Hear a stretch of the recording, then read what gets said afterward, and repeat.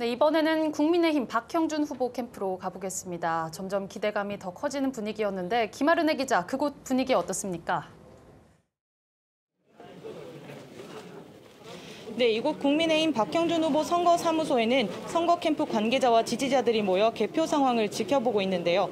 박형준 후보는 출구조사 때 방문했다 지금은 잠시 자리를 비웠습니다.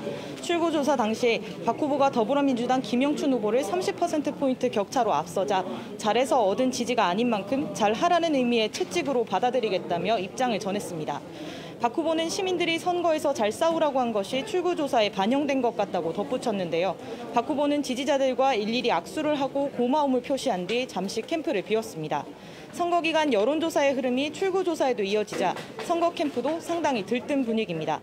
하지만 출구조사에 포함되지 않은 사전투표 등 변수도 남아있는 만큼 결과를 끝까지 지켜봐야 한다며 이곳 자리를 지키고 있습니다. 지금까지 국민의힘 박형준 후보 선거 사무실에서 전해드렸습니다.